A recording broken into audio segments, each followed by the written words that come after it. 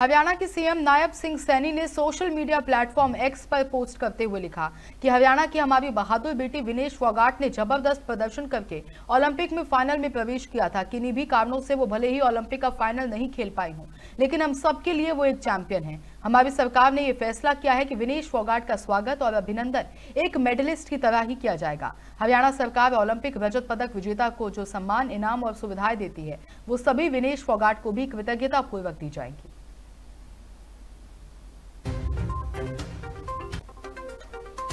देखिए जो कि बहुत बढ़िया है जो ये शुरुआत की है जो मुख्यमंत्री ने जो प्लेयर जो सोचा भी जो ने मान लिया भी उसका सिल्वर मेडल था तो बहुत बढ़िया घोषणा है।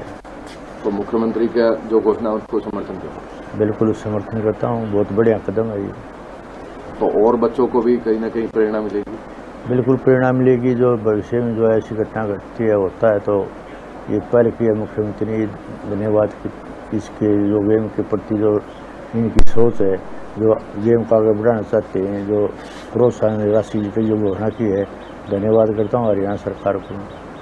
परिवार में और जो बच्चे हैं उनको भी तैयारी कराएँगे ओलंपिक के लिए? बिल्कुल देखिए जो जब तो सांस रहेगा मेरी कोशिश होगी जो है भाई ओलंपिक गोल्ड मेडल के लिए और जो हमारी जो पाँच लड़के ने आपकी बार क्वालिफाई किया है तो ये भी एक सौभाग्य की बात है जो हमारी लड़के आगे बढ़ रही हैं जो उनके माँ बाप से उन लड़कियों से उनके कोची से मैं निवेदन नरम प्रार्थना करता हूँ।